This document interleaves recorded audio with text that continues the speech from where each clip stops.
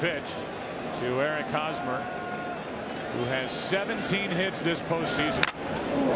Off the mask of Buster Posey. I believe it caught Posey, or did it catch Wendelstedt? It got him. He was Oh, yeah. shaking his head immediately. You know, and here's the relationship we, we were talking about with the players and the umps. The time that Hunter Wendelstedt's giving Buster right now to, and Bumgarner even giving him time to shake that off. You know, the umpires get this villain, he's the villain. Know, there's a relationship there. And he immediately took time for Buster.